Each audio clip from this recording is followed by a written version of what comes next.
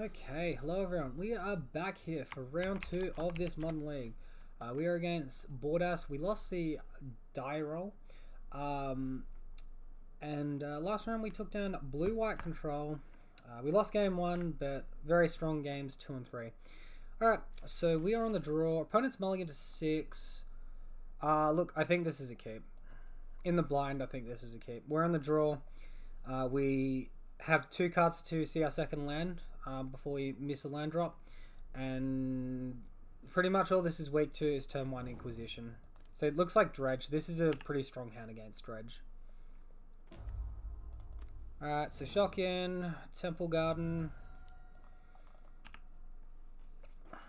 And pass that turn.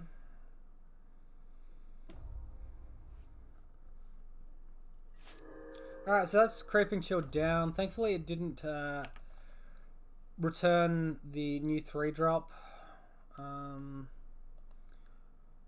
so that's one less that can return that 3 drop from Conflagrate. Uh, Silversmote Ghoul gets returned when they gain 3 or more life in a turn.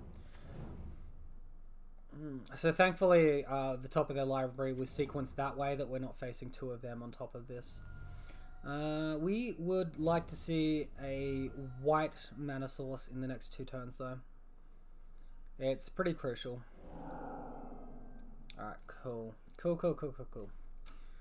Alright, so no white mana source here. Hopefully, next turn, uh, we get it, and Daybreak is good enough.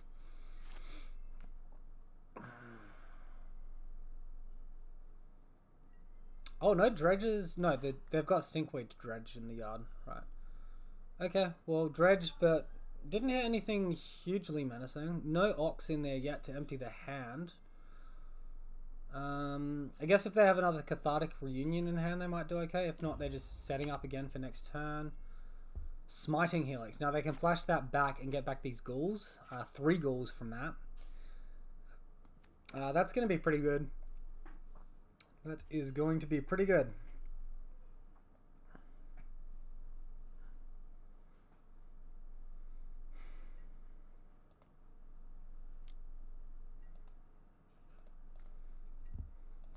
So just take that damage. Smiting Helix comes down. We hope Daybreak's good enough if we can cast it. Mm -mm -mm.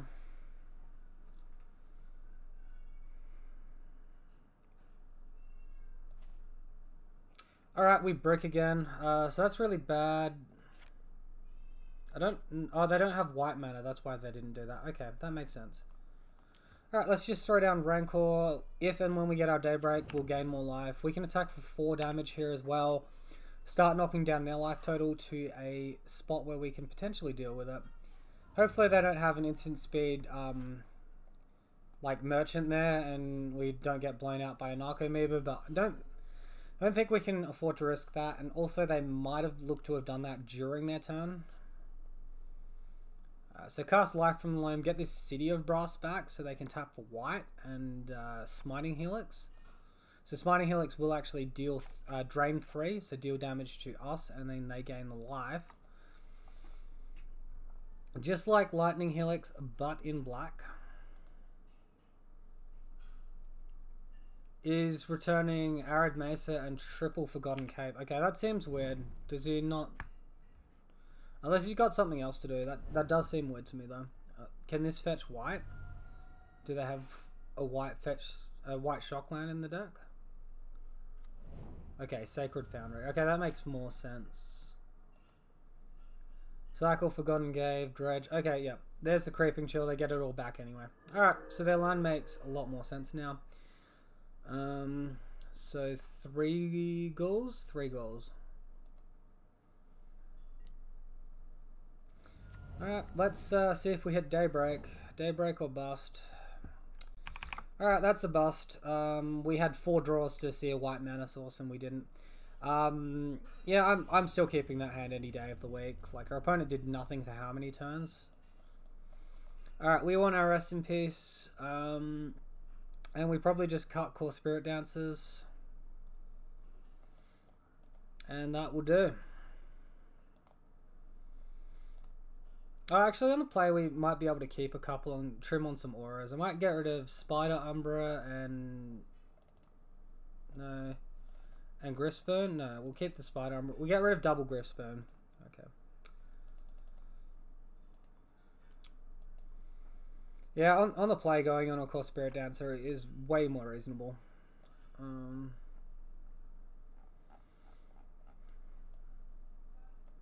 on the draw, I'm just going to take them out for the Gryff's Boon. Or maybe even consider Leyline to protect myself against Thoughtseize. Okie dokie. Would we like to play first? We most certainly would. So we got double rest in peace. Yeah, I'll keep this.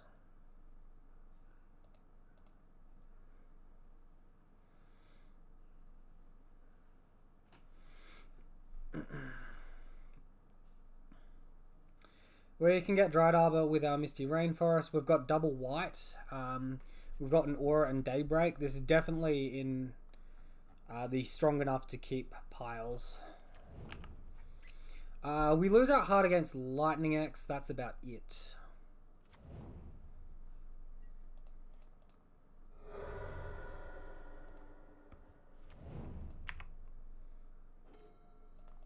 Alright, we draw Bogle. So even if our Rest in Peace dies here, um, we can rebuild pretty easily. Sorry, even if our Bogle, uh, Dryad Arbor dies here, we can rebuild on a Bogle.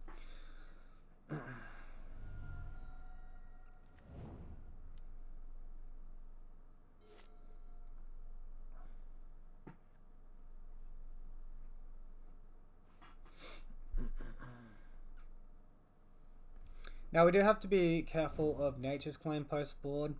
Um, so if I can like slow roll this Daybreak until there's an extra aura on my creature, it's probably worth doing. Uh, here I'm going to just attack for one and play the Bogle post combat with the Cartouche. My opponent um, played the Stomping Ground, their green source tapped, which signals to me that they don't have Nature's Claim in hand.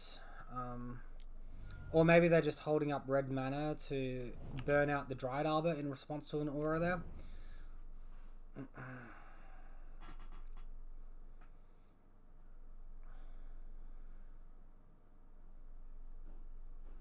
Cartouche giving us that valuable vigilance blocker there. Let's see if it comes in handy this game. Hopefully it does.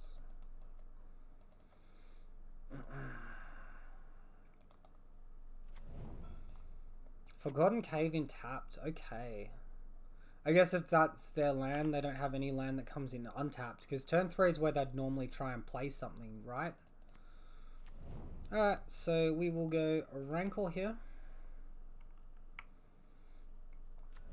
Uh, we'll pay for 2 life on these Horizon Canopies to get this Daybreak out over here.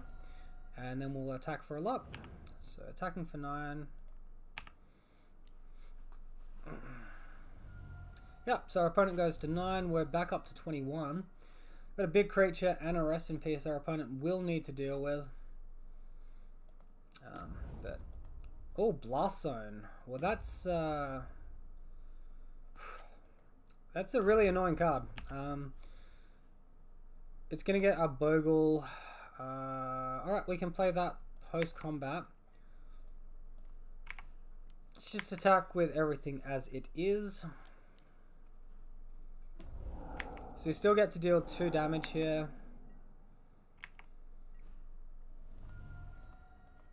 Let's uh, post-combat play out our second Rest in Peace, just to put that nail in the coffin. Now our opponent will need to add creatures to the board. Alright, Stinkweed Imp is pretty annoying. Um, let us cycle a canopy and see if we draw another aura. Alright, we draw another aura. Let's go in on uh, warrior token here.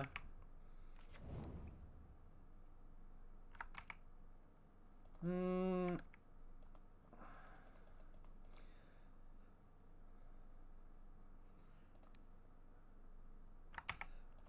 I think I can hold that in hand.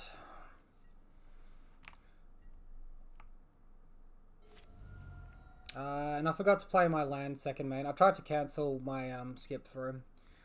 But yeah, Razor Edge Thicket should be on the board here.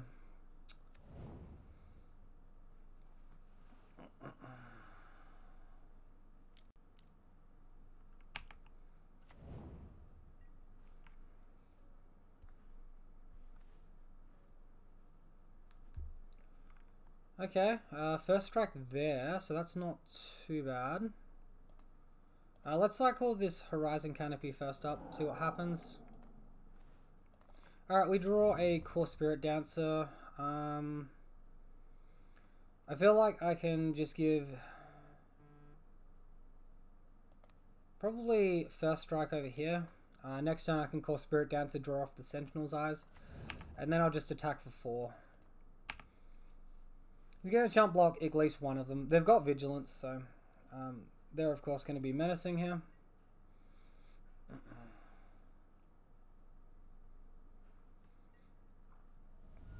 Alright, so chump blocks one of them. And he fetches, so he's down to two anyway. So now we can Kor Spiritdancer Sentinel's Eyes on the uh, Dryad Arbor, get the draw trigger. But we need to draw a land to do that. Otherwise we can just go wide. No, he needs... That's assuming if he plays one chump blocker. I think we got it.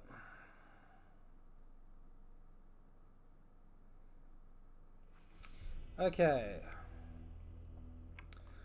So, uh, less less confident going in on Kor Spiritdancer post board here. Um, looks Gryff's Boon is really just not going to be that impressive.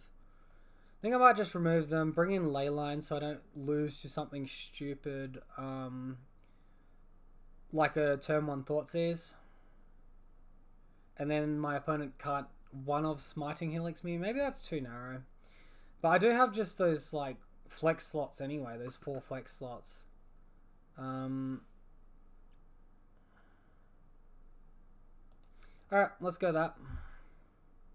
Maybe it's right, maybe it's wrong. Um, I I feel like it's reasonable taking Gryff's Boon out for Leyline on the draw though, on, on game three. Um, yeah. I mean, we still have plenty of auras in our deck. We still have 21 1 drops and uh, another 4 2 drops. So 25 auras still in the list.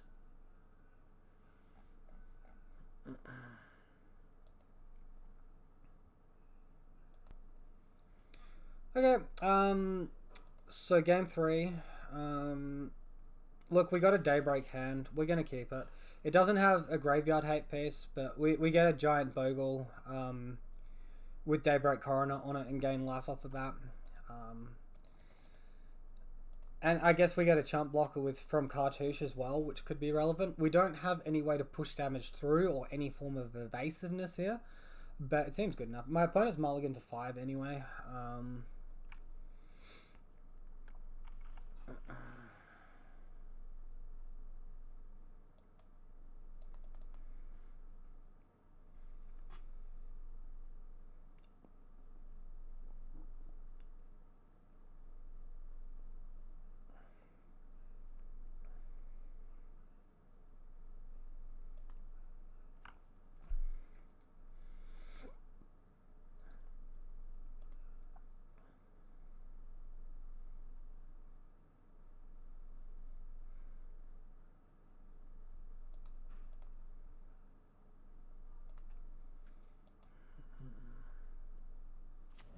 Darkmoor Salvage turn 1. Alright, so no explosive turn 1 play. And no Thought Thoughtseize on turn 1 either. Uh, we draw a Spider Umbra, which is nice. So here I'm going to look to play double white aura on this next turn, so I can use my forest to pay for Spider Umbra on turn 3. And then that way the that mana is not lost. But obviously now we can block his flying creatures as well once Spider Umbra goes down. Um, so my opponent is going to have to have a pretty good turn here. Which, I mean, the deck is definitely capable of. It's a very powerful deck.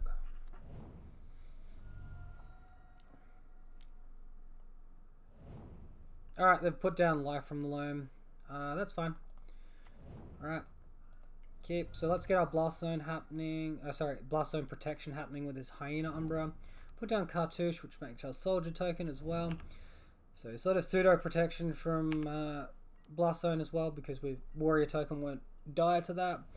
Um, at least we've got the point of damage on the board. Alright, so they dredge three. Forgotten Cave, Merchant, and Narcomoeba.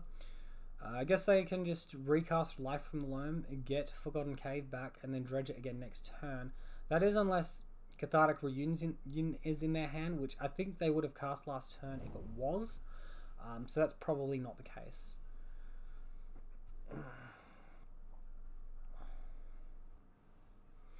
Let us see what our opponent does though.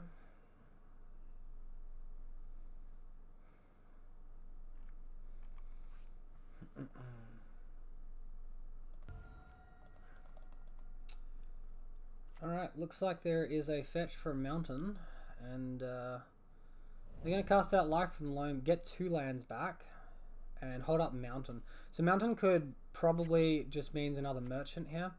Um, so yeah, I think I'm pretty happy uh, just throwing down Spider Umbra, Daybreak, and attacking for a bunch. And we can we can leave the uh, cartouche in hand in case we need to rebuild after an explosives or something or a, sorry, a um, blast zone. Opponent is at blast zone mana next turn as well, so that's something to be a little bit scared of. Um, there is only like one copy of the card, and they normally put it in their sideboard. I uh, see. There you go. Thoughtseize right there. Read it and weep. They do board in some number of thoughts. It, it varies from list to list how many copies they bought in. Um, but Blast Zone normally it's just a one of in the sideboard for the deck. Um, Okie dokie. So got our big seven power scout. Did I forget to attack with the vigilance token then? I just think I did. Well, that's a little bit silly of me. Alright, Cathartic Reunion. They'll get to dredge at least eight here. Um, and they got a second life from the loam. So Stinkweed Imp. Nature's Claim in the bin. Blast Zone in the bin. Alright, we need to end this game soon. Or draw a Rest in Peace. Rest in Peace would be really strong here. Get rid of their one blast zone.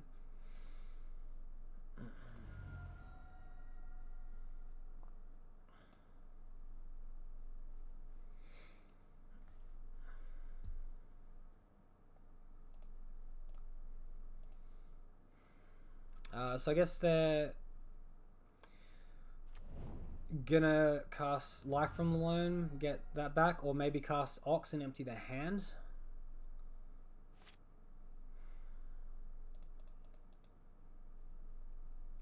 I think they want to prioritize Blast and The problem is I could just jam a, a Rancor or Ethereal Armor and trample, trample over the top. Um, hopefully this one point of damage from the Warrior token does not come back to bite us.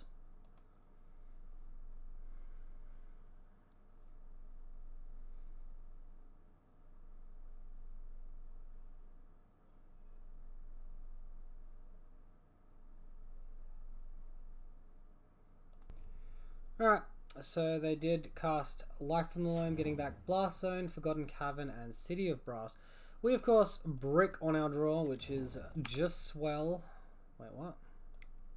When did I tap that mana? I don't remember tapping that mana. Alright, let's attack. We're getting Blast Zone next turn. We didn't even draw Daybreak or anything um, to give ourselves some assurance to stick that Daybreak Coronet down onto our creature. Um, so pretty much they're just gonna cast, play Blood Blast Zone and then crack at instant speed, um, and then we're gonna be in some trouble. Um,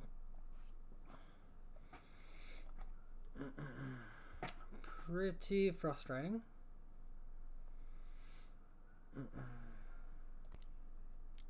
All right, they've they've done the blast zone line at uh, Pro probably the silliest time, really, um, because wouldn't you do it during our attacker step, chump block, and then my creature's dead? Um, I don't know why they're giving me a chance to load back up on auras and things like that. Um, seems really odd. They're taking like a minute or more per turn at this stage as well, so um, it seems odd that you take so long for a turn and then come up with the suboptimal play. Uh, we can't do anything here. We might as well leave this cartouche in hand for now. The only point where it's worse is Daybreak. Okay, I guess we play it. Mm. Uh, I can't really attack. Uh, he's just going to recycle Blast Zone next turn. Um, Garden Cave, Dredge something. Yep, double Creeping Chill, one Silversmote Ghoul. Alright.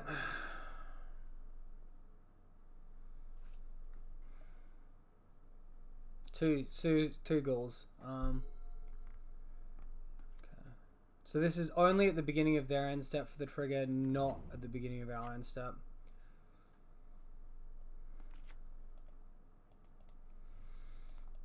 Man, like even a rest in peace right now would just give me so much room to get back into the game, but I've just started drawing creatures, um, and obviously they're completely worthless at the moment. One in hand post this second blast zone um, is okay, but uh, okay. My opponent's played City of Brass this turn, so they don't have access to blast zone here. I guess they're probably just gonna ox um, and then draw a bunch. Alright, or they're just gonna cast Life from the Loam, or maybe they're Life from the Loam and then ox.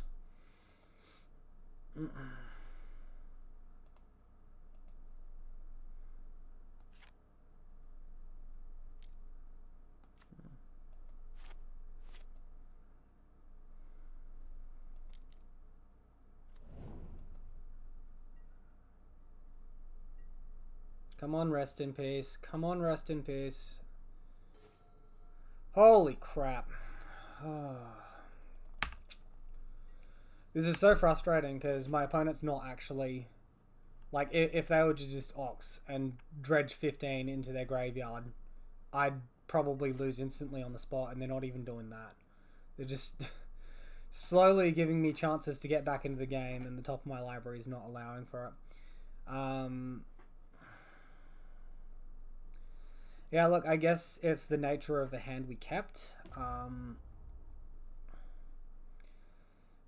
But e even now, my opponent can still crack this blast zone. Uh, if they don't life from the loam in the same turn, we can still draw rest in peace, exile it, um, and rebuild from that point forward.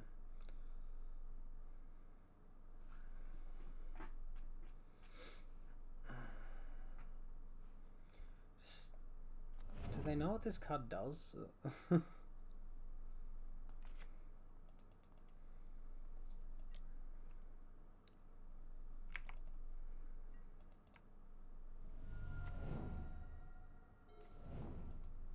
Alright, uh, so that's at least an aura worth playing. Um,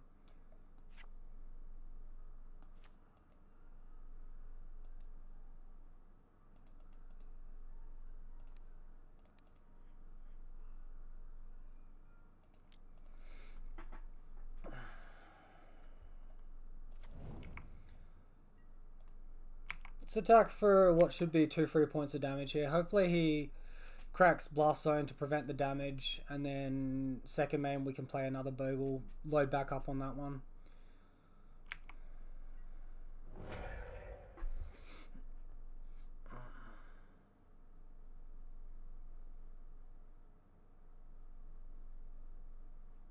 I guess they can put a Narco Narcomoeba on top of their library if they want to get one back. I guess it's reasonably free value. Oh, they've only got seven cards left in their library. Did they take out a whole bunch of creeping chills? We've only seen two of them. Merchant on top. Do I want a cartouche for the token? 122 life. I'm not that close to dying yet. Let's hold on to it.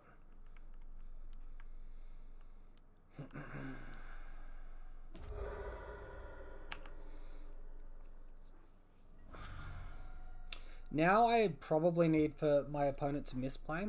Um, and for me to draw Daybreak Coronet and gain enough. Um, we can't really... We're taking 9-10 damage.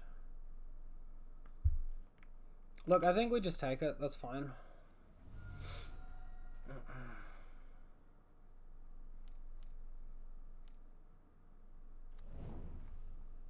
House Cardcast Stinkweed Imp, okay.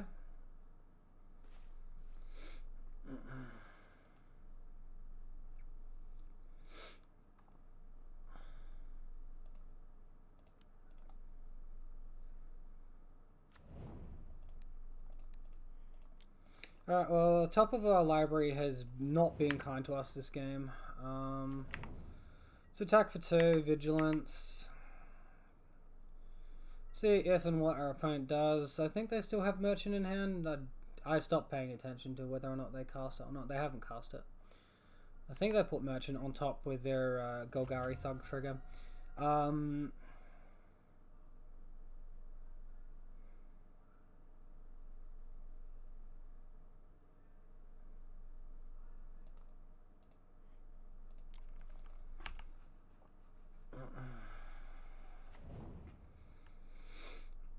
Alright, we are in chump block mode.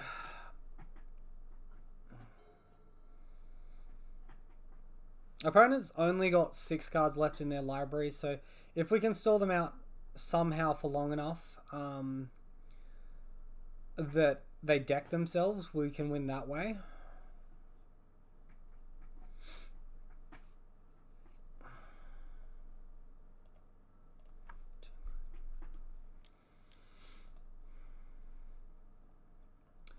Doing the 200 IQ play of Life from the Loam Get Back Blast Zone. Oh, look at that. Look at that. Uh, look, Life from the Loam Get Back Blast Zone. Uh, Alright. Straight in with the activation, we lose two jump blockers and a cartouche. Mm hmm.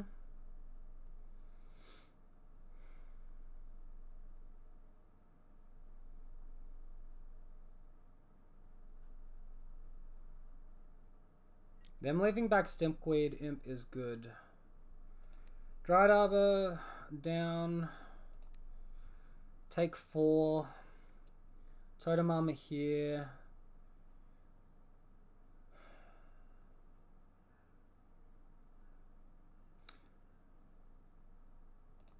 Okay.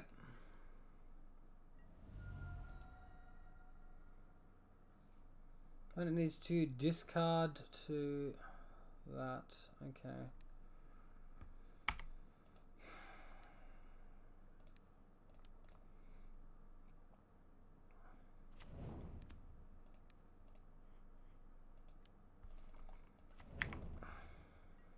Alright, let's attack for four. Hopefully blocks because it will be one less point of power we have to deal with. Alright. So now we can block that and we're taking five. Alright, so we're still alive for another turn.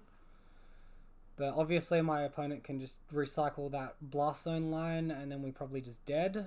Um, oh, there's a creeping chill anyway, so we're just dead anyway. So they hit their third creeping chill after deciding to dredge a stinkweed imp.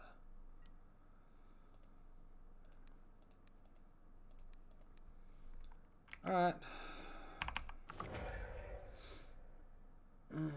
I, I mean, like, we drew a whole bunch of nothing there, like, whole bunch of nothing.